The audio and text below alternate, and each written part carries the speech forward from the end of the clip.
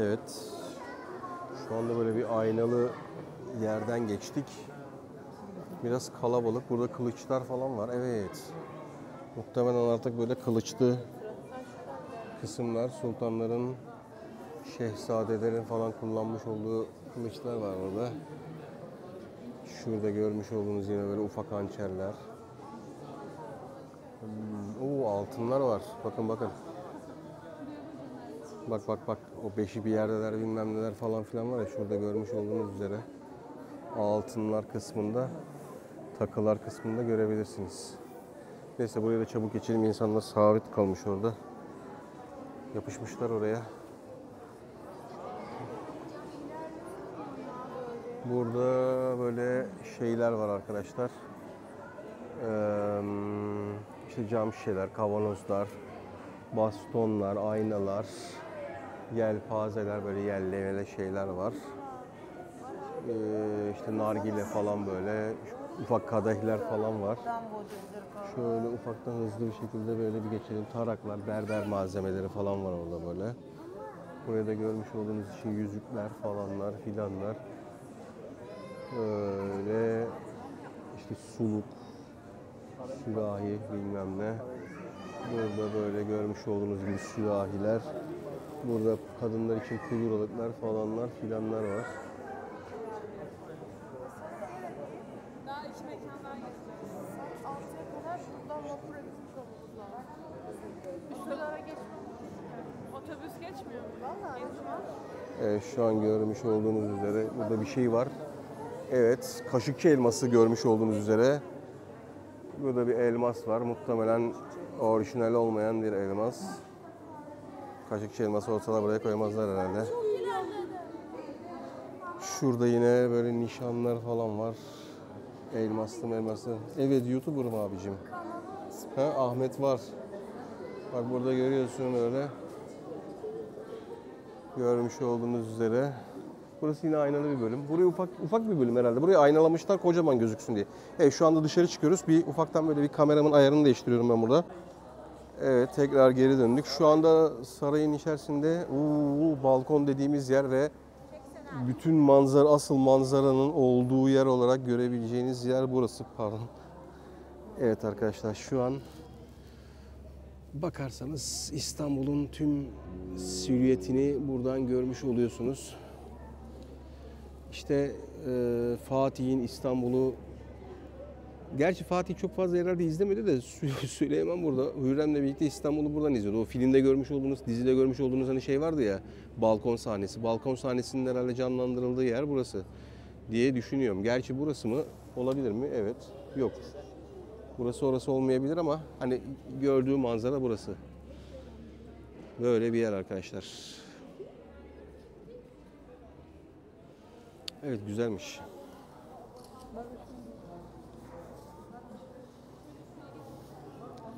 Bir de şu önden alabilirsek böyle bir manzarayı.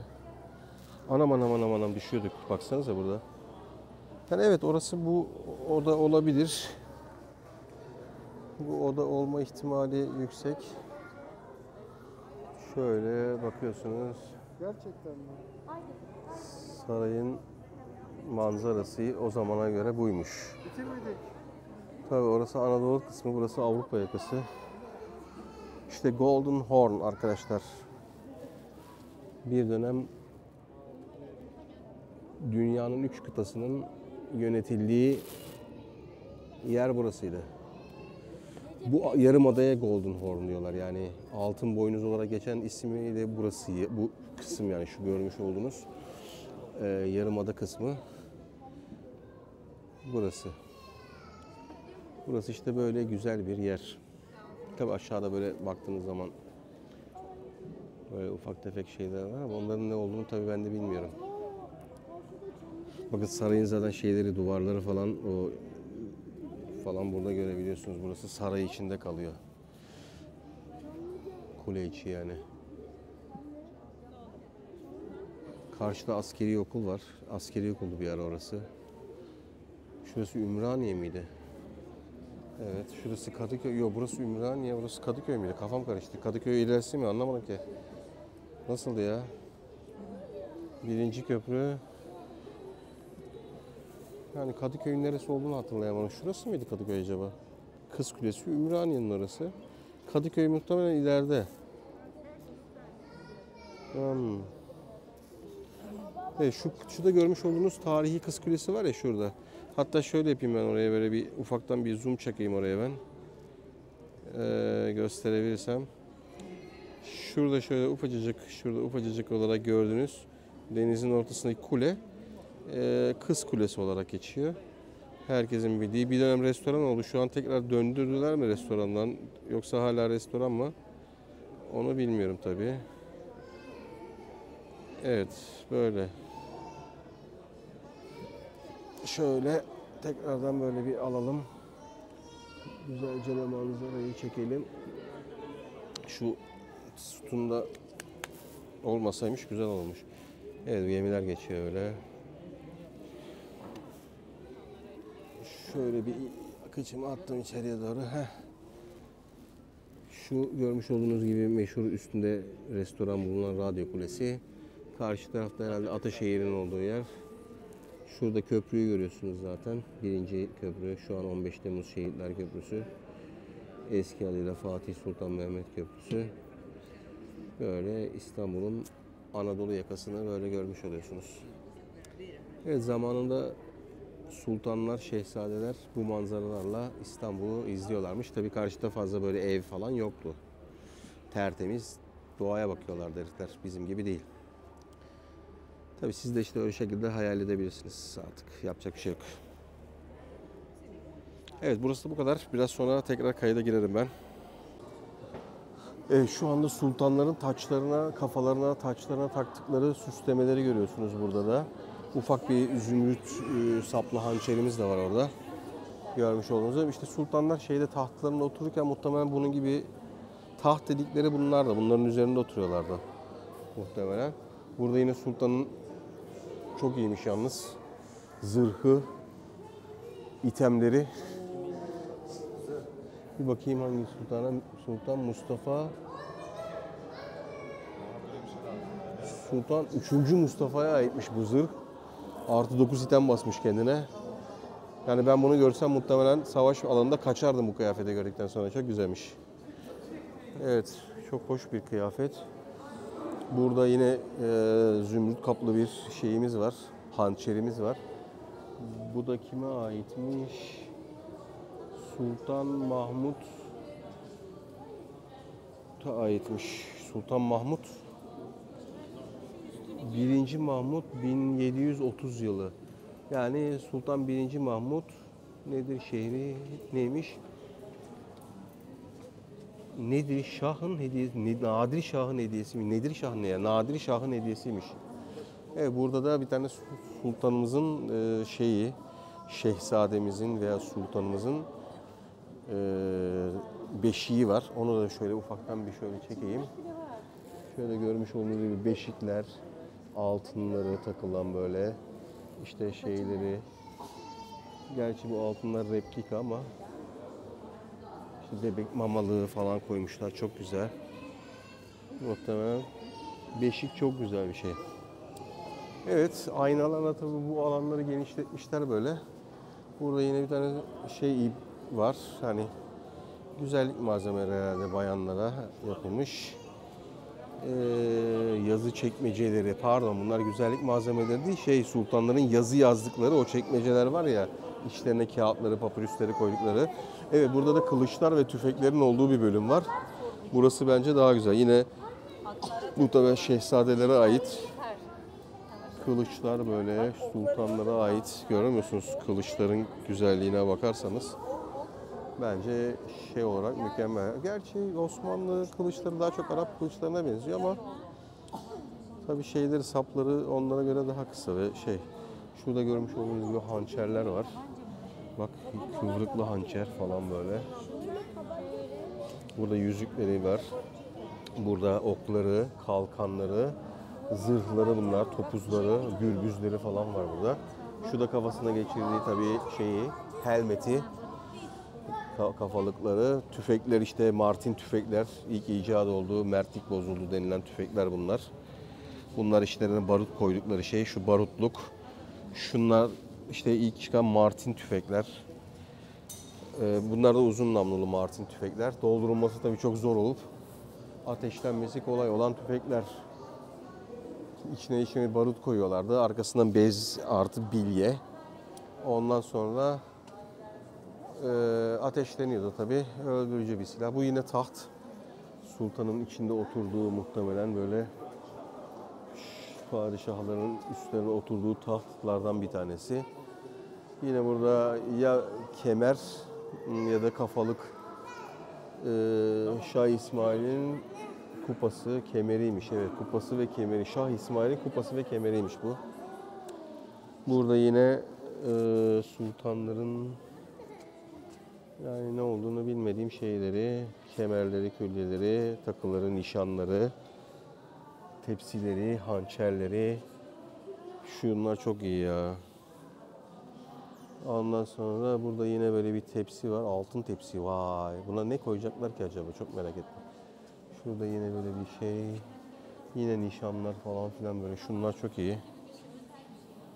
Bildiğin üstünde ejderha falan var. Bak çift başlı kartal o zaman da varmış görüyor musun? Amerika demek ki bizden çalmış onu. Şurada yine nişanların olduğu böyle bir kısım var. Burada artık böyle haçlı maçlı nişanlar falan var. Muhtemelen bunlar pardon. Öyle ha- evet bunlar şey herhalde o şey zamandan kalanlar. Çünkü e, bildiğin Hristiyan motifleri var bunların içerisinde.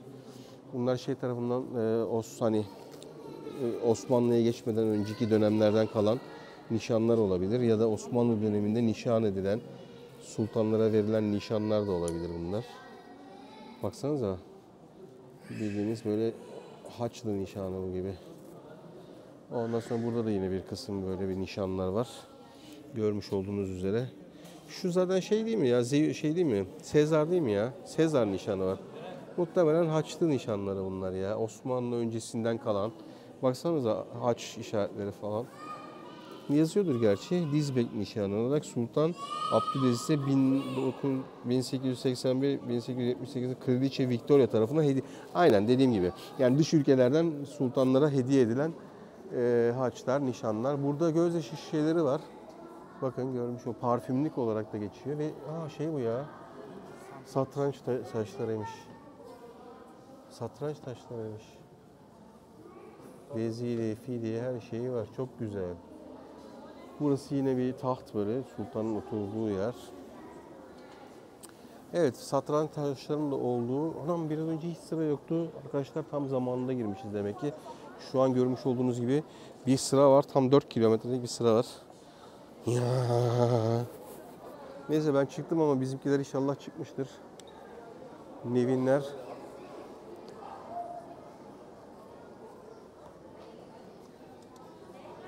E buradan yine bir başka bir başka bir yere girdi şu anda. Aa, evet görmüş olduğunuz üzere böyle bir girişi var buranın da. Evet burada artık baba kılıçları görüyoruz. Savaş nidalarıyla Allah Allah Allah Allah Allah Allah Allah Allah Allah. Oo. Çok güzel. Kılıç çok güzelmiş ben bayıldım buna. Aa Ömür bu tarafa gelir misin? bir tane kılıç varmış orada ya. Bu ne ya? Bir boşluğa düştüm bir anda ya. Burada ahizeler var. Burada şamdanlıklar herhalde. Bakayım. Neymiş? Buhar Buhardan mı? Asiti. Buhardanları varmış lan eskiden o zamanlar. Buharlık herhalde. Buhar. Bunlar şeyler işte Kur'an-ı Kerim böyle koyup ufak defterle kitaplar okuma. Baksanıza adamların Çin sanatlarına, işleme sanatlarının ne kadar güzel olduğunu. Burada yine böyle bir süsleme sanatı. Ahizeler falan. Oo bakın tepeye bakın böyle. Burası da çok güzelmiş gerçekten iç kısmı. Çok iyi. Burada yine ufak bir Kur'an-ı Kerim'in olduğu Kur'an-ı Kerim ufak işlemeli Kur'an-ı Kerimler var bakın görüyor musunuz? Gerçek Kur'anlar bunlar. Bunlar yine saklama kapları, yine Kur'an-ı Kerim. Evet ve büyüklerine geçmeye başladık artık. Bakın şunların güzelliğine. Görüyor musunuz? Eskiden Kur'anlara verilen değerle şu anda verilen değeri görmek gerekir. Bu açıdan bir değerlendirmek gerekir. Bu neymiş? Hırka-i Şerif'in sandığıymış bu. Hmm, Hırkayı Şerif'in sandığı yani Hırkayı Şerif bunun içerisindeymiş. Bunun içerisinden çıkarıp insanlara gösteriyorlar. Bu yine Kur'an-ı Kerim kaplaması falan filan. Bunlar yine defter kitap kaplamaları o dönemlere ait. Büyük defterleri kaplamak için. Bunlar böyle görmüş olduğunuz üzere. Yalnız bunun tavanının rengi çok güzelmiş ya böyle morumturak. Gerçi kameraya biraz mavimtırak çıkıyor ama morumturak biraz. Görmüş olduğunuz üzere bunlar da var. Şimdi yan tarafa geçelim. Orada da makaslıklar muhtemelen mum söndürme şeyleri mi bunlar? Ne o? Ne biçim makas onlar öyle? Tepsi. Tamam. Yuvargazmış. Bu makaslar neymiş? Mum makası. E dediğim gibi doğru. Hem mumu kesmek için üst kısmını mumuttuk alıyorlar. Yeni kısmı da kalsın diye mum makası olarak geçiyor bunlar. Bu tepsimiz görmüş olduğunuz üzere. Bunlar da gübardanlarımızmış. Rose Water Flush diye olarak geçiyormuş şu ortadaki. Bunlar yine buhardanlar. Evet tespihlere geldik. Mercan tesbih, zümrüt, şu zümrüt tesbih, bu mercan tesbih, boğa tesbihi, akik tesbihi, ondan sonra yine mercan tesbih falan filan bir ton tesbih çeşidi var. Bu e, amber taşıymış mesela bakın. Yukarıda görmüş olduğunuz da var. Çok güzel tespihlerde. Bu yine sarayın bir kısmını süsleyen bir şey. Böyle dedik ve buradan son şunlara bakıp şu şekilde sarayı süslemeleri den çıkıyoruz arkadaşlar. Burası da yine kılıçların saray içerisindeki süslemelerin falan olduğu eee, bir bölümdü. Saray içerisindeki süslemelerin olduğu bir bölümdü. Evet şimdi yine dışarı çıktık. Eee, ben size bir sonraki noktamızda yine kamerayı açacağım ve etrafa göstermeye başlayacağım. Ben bizimkileri bir bulayım. Evet beni kandırmışlar. Onlar aşağı inmişler. Biraz önce şuraya gezdik. Şuraya gezdikten sonra onlar oradan aşağı inmişler. Sen buradan mı gördün beni? Evet şuradan. Ben nereden gördü ben de diyorum. Du duvarların arkasında kız kardeşimin iki ışınlı gözleri mi var acaba? Oradan mı gör? Ona lan martıyı görüyor mu? İnsan gibi bağırıyor. Çocuk muydu yoksa bağıran? Acı düşünsene buraya ne Osmanlı zamanında işte. Değil mi? Burayı izleyerek böyle. Ama şurada tabii hiç bina bina yok burası. Yeşillik falan böyle. Değil mi? Direkt şeyin yani sabahleyin uyanıyor. Muhtemelen şey şurası herhalde Süleyman'ın oturduğu yer değil mi? Dizidemizde. Mu- Muhtemelen şey yani Süleyman'ın oturduğu yer burası. Yatak odası bilmem nesi falan filan. Yoksa başka nerede balkon var böyle? Bence yok. Bence burası direkt. Baksana önünde çünkü şey ön, ön, ön kısmı falan bunların daha güzel yani.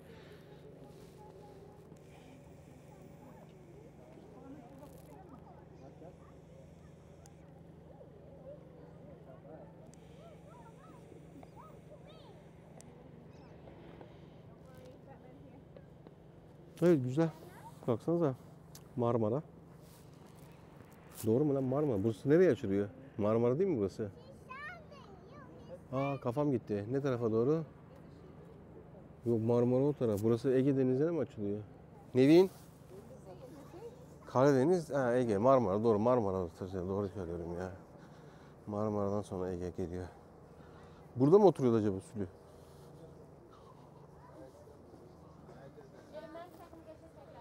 Dayıcım sen o zamanları hatırlarsın. Burada kim oturuyordu? yani.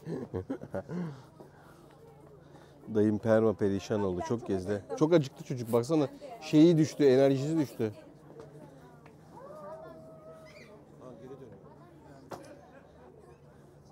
Neyse hadi geri dönüyoruz. Burası bu kadarmış. Türkiye Cumhuriyeti Cumhurbaşkanlığı Milli Saraylar Bakanlığı.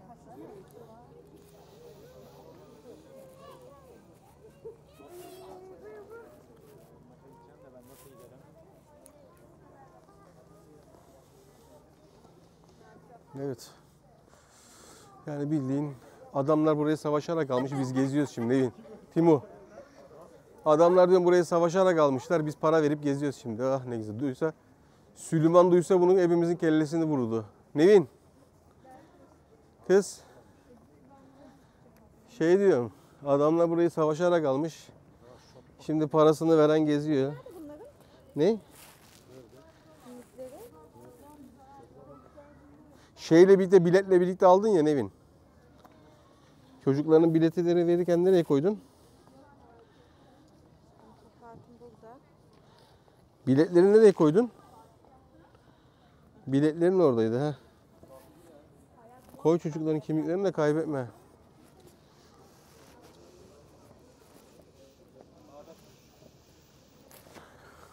Övgü kimliğini taşımıyor mu artık kendi kimliğini? Niye reşit olmadı mı?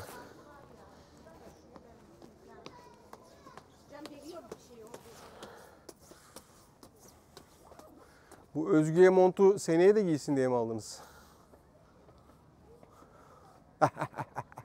ha Süleyman şurada oturuyordu herhalde bak. Muhtemelen Sülü haremde oturuyordu. Ama adam gerçi çok. Evet ya şeyde de hiç durmamış ki adam. Nasıl, ne ara bunlar? Ha, tabii Sü- Sülü savaşta olduğu için sürekli Hürrem'de yapacak bir şey bulamadı. Hep ortalığı fitne fesat yapmış. Tabii çok öyle yığınla çocuğu da olmamış ki. Hürrem'den sonra adamın kesilmiş tohumlar. Hürrem adamı ele geçirmiş. Sarı Selim geliyor ondan sonra da. Acaba kim? Sarı Selim oğlu. Kimin oğlu acaba?